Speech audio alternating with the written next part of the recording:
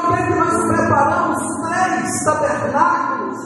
Um para o Senhor, um para Moisés e outro para Elias.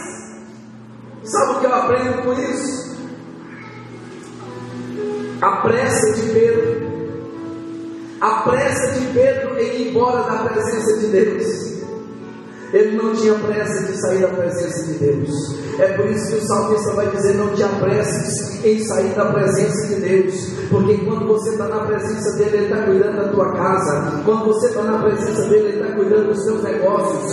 Você está na presença dele, ele está cuidando dos teus filhos, das suas filhas, do teu esposo, da tua esposa, do teu pai, da tua mãe, dos teus bens. Quando você está na presença dele, ele está cuidando de você. Aquele que habita no esconderijo do Altíssimo, a sombra do Onipotente, no descansará.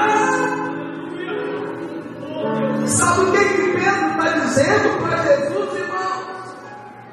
Ele propôs para Jesus construir três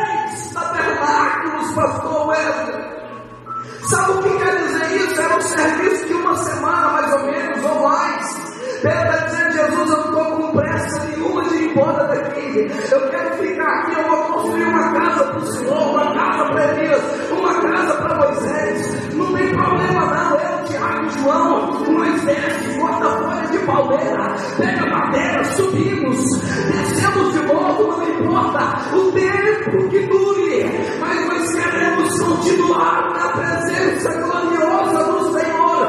Isso é só para quem ama a presença